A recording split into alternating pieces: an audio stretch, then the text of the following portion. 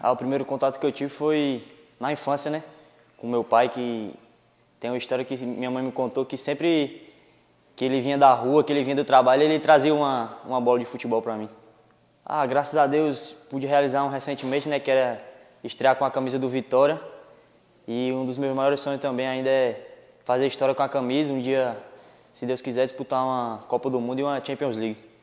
Ah, eu me inspiro muito no Oswaldo, né, que está aqui hoje. Também tem o Vander, né? São grandes jogadores que vêm honrando a camisa do Vitória e já honraram também. Tenho seis anos. Cheguei com, com 12 anos aqui e desde, desde lá é só alegria. Eu gosto de tudo, da, da estrutura. Cada espaço tem, tem um.